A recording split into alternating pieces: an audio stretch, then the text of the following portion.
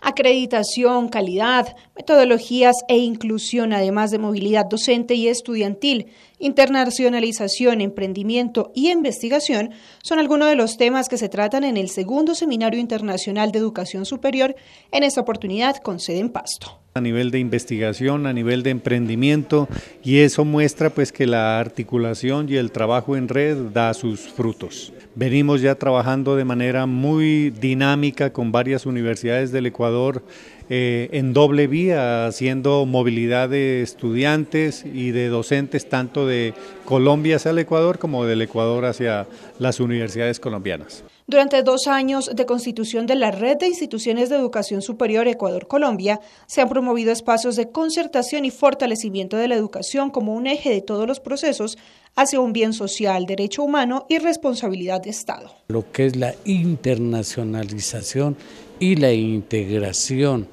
académica.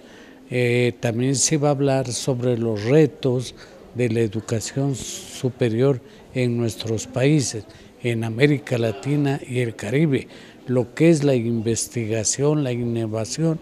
y lo que es la vinculación con la sociedad,